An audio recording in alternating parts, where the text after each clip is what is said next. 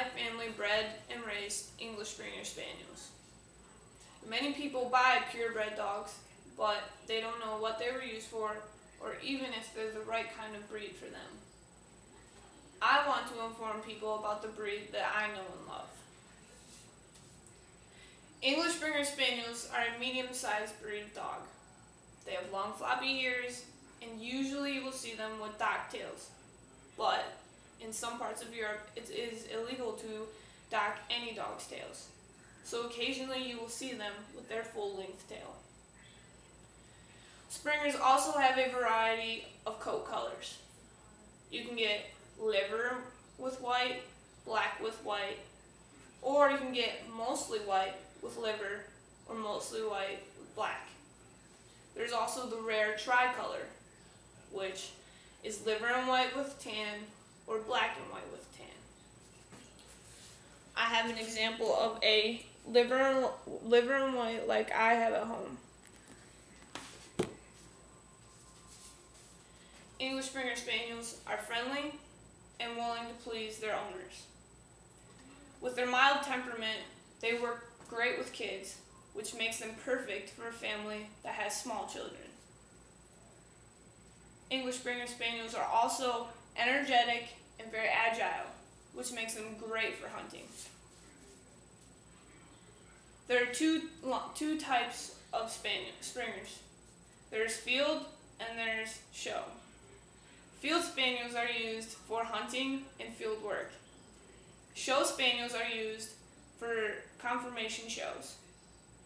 Show Spaniels will have a long, fuller coat, and usually when you see them at a show, they'll be the type of Spaniel that have the full black coat or full liver coat.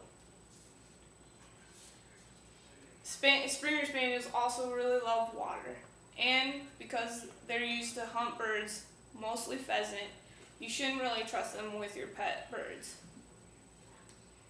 Springers also have a few health problems. They're known, they're prone to have hip dysplasia, uh, problems with their eyes, blood disorders, and epilepsy. It is also it is also that you should keep them on a very strict diet because it is very easy for this breed to gain weight. And if they gain weight, that, that is a cause for their health problems. Uh, English Springer Spaniels also have a life expectancy of around 12 to 14 years. It is said that Springers are the founder of English hunting spaniels. In the beginning, it, they were born in the same litter as Cocker Spaniels. But they, they would take the smaller and call them Cockers, and they would take the larger and call them Springers. Springers were and still use, still are used to flush out and spring on their game, which is where they got their name, English Springer Spaniel. This breed wasn't very famous in the U.S. until around the 1700s. Then, the American Kennel Club finally started to recognize this breed in 1910. And in 1924, the English Springer Spaniel Field Trial Association was formed. Even though the English Springer Spaniel breed started out just for hunting, they have become a well-known family-oriented breed.